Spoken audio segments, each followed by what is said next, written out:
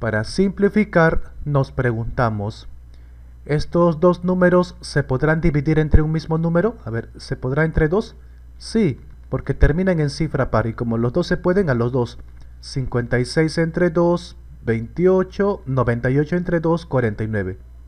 Arriba todavía termina en par, pero abajo ya no, así que entre 2 ya no, el de abajo lo malogró. Entre 3, por ejemplo, 28 no se puede ni entre 3 ni entre 5, pero sí entre 7 y el de abajo también. Y como los dos se pueden, a los dos entre 7. 28 entre 7, 4. 49 entre 7, a 7. Ahora sí, el 4 y el 7 ya no se dividen entre un mismo número, ¿verdad?